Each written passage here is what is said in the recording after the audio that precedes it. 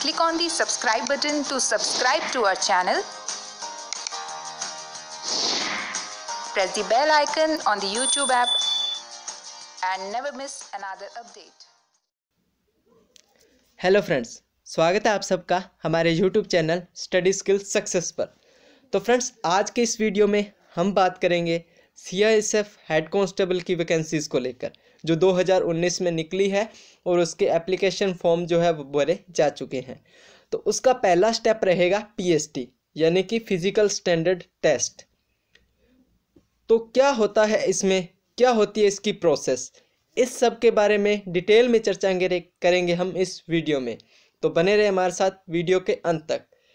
जिन भी स्टूडेंट्स ने जो इसका C S F head constable का फॉर्म फिल किया है, उनके लिए ये बहुत ही महत्वपूर्ण वीडियो है, क्योंकि एग्ज़ाम्स का पहला स्टेप ही पीएसटी रहेगा। पहला स्टेप होगा फ़िज़िकल स्टैंडर्ड टेस्ट उसके बाद होगा डॉक्यूमेंट वेरिफिकेशन उसकी वीडियो है, वो मैं आज कल में आपको दे दूँगा। और उसके बाद थर्ड स्टेप रहेगा आपका रिटर्न एग्ज़ाम तो सबसे पहले रहेगा आपका PST test physical standard test तो देख लेते हैं कि क्या होता है, इसमें क्या रहेगी इसकी प्रोसेस तो चलिए चलते हैं सीधे उस इमेज की तरफ़। तो ये वो इमेज है फ़िज़िकल स्टैंडर्ड्स की, जो C I S F board ने एक नोटिफिकेशन अपने नोटिफिकेशन के द्वारा स्टूडेंट्स को प्रदान की थी।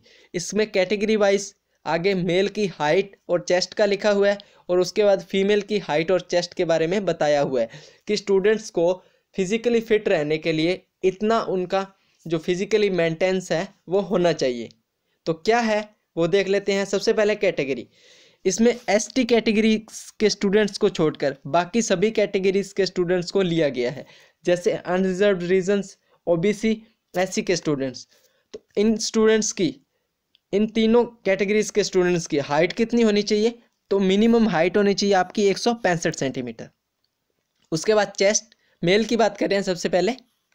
उसके बाद चेस्ट तो चेस्ट आपकी होनी चाहिए सत्तर सेंटीमीटर फुलाने के बाद आपकी चेस्ट होनी चाहिए बयासी सेंटीमीटर यानी कि आपकी चेस्ट का पाँच सेंटीमीटर फुलाव होना चाहिए। समझ गए होंगे? एस सी ओ बी सी और अनरिजर्व रीजन्स के स्टूडेंट्स के लिए। ये होगी मेल की, उसके बाद फीमेल की। जो ये रीज़न है, उसमें फीमेल की हाइट कितनी होनी चाहिए? तो एक सौ पचपन सेंटीमीटर की हाइट होनी चाहिए और फीमेल की चेस्ट कितनी होनी चाहिए? तो चेस्ट के बारे में इसमें फीमेल का कुछ भी नहीं बोला गया है। उसके बाद एसटी के स्टूडेंट्स उसके बाद आते हैं एसटी के स्टूडेंट्स तो एसटी के स्टूडेंट्स में मेल की हाइट होनी चाहिए एक सेंटीमीटर और हाइट एक सेंटीमीटर चेस्ट की बात करेंगे तो चेस्ट होनी चाहिए छिहत्तर सेंटीमीटर और फुलाने के बाद कितनी हो चाहिए इक्यासी सेंटीमीटर यानी कि फुलाव मिनिमम मिनिमम आपका पाँच सेंटीमीटर का होना चाहिए। उसके बाद इन सब रीजन्स को छोड़कर अदर कोई भी रीजन्स बचते हैं, जैसे नीचे दिया गया है आपका, उनमें आपकी हाइट होनी चाहिए एक सेंटीमीटर चेस्ट होनी चाहिए आपकी सत्तर सेंटीमीटर फुलाने के बाद बयासी सेंटीमीटर यानी कि मिनिमम पाँच सेंटीमीटर का आपका फुलाव होना चाहिए। मेल का हो गया। उसके बाद फीमेल की बात करें तो एक सौ पचास सेंटीमीटर की आपकी हाइट होनी चाहिए और चेस्ट की बात फीमेल की कहीं भी नहीं की गई है। ये सब प्रोसेस होगी आपकी फ़िज़िकल स्टैंडर्ड्स को लेकर। लेकिन स्टूडेंट्स का एक और डाउट रहता है कि इसमें सर वेट का नहीं बोला गया है। हाँ जो सी बोर्ड है, उसने अपने नोटिफिकेशन में कहीं भी स्टूडेंट्स के, यानी कि मेल के और फीमेल के वेट का जो ज़िक्र है, वो कहीं भी नहीं किया है। लेकिन आपको अपने फिजिकली मेंटेनेंस के आधार पर वेट का जो पता है, वो होना चाहिए।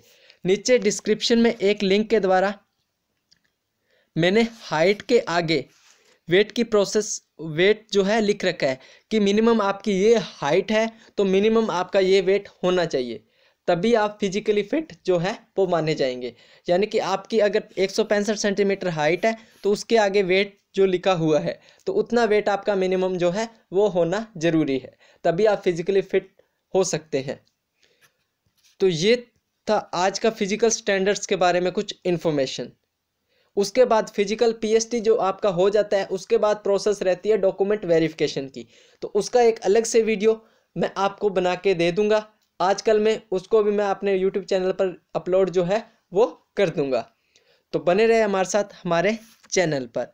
तो कैसी लगी वीडियो अगर अच्छी लगी वीडियो तो वीडियो को लाइक करें और ज़्यादा से ज़्यादा अपने भाई बहनों तक शेयर करें अदर स्टूडेंट्स तक शेयर करें, ताकि उनको भी इसके बारे में कुछ नॉलेज हो सक।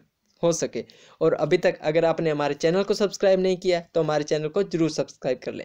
और साथ ही साथ बेल आइकन को प्रेस कर लें, ताकि आपको आने वाले न्यू अपडेट्स के जो नोटिफिकेशन है, वो टाइम टू टाइम मिल जाए। और सी की अदर जो वीडियोस है, वो मैं, मैंने अपने चैनल पर डाल रखी है तो आप हमारे चैनल पे वो वीडियोस भी देख सकते हैं। तो thank you friends thank you so much and have a nice day